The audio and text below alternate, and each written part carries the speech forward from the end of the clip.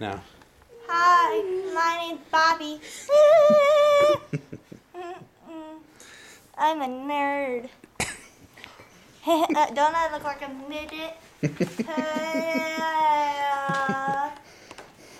This gonna be on YouTube. You bet. Gonna be so cool. We're like famous like Fred Figglehorn. That's so cool.